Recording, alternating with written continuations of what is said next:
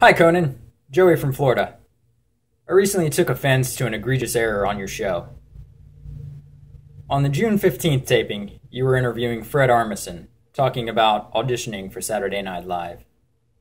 He mentioned doing an impression of Sam Waterston. Then a picture of Mr. Waterston was shown. You foolishly likened that picture to an eagle from Sesame Street? One problem there is no eagle on Sesame Street. There's a big bird. The eagle you were probably referring to, Sam the Eagle, a Muppet. Not all Muppets are Sesame Street characters. To further illustrate this, I've created a diagram any four year old should be able to understand. You have puppets, then there are Muppets, Within Muppets, you have Sesame Street characters.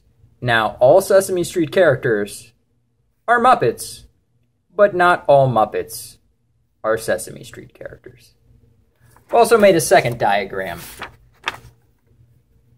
There's me, then there are idiots, and there's you. You screwed up, idiot.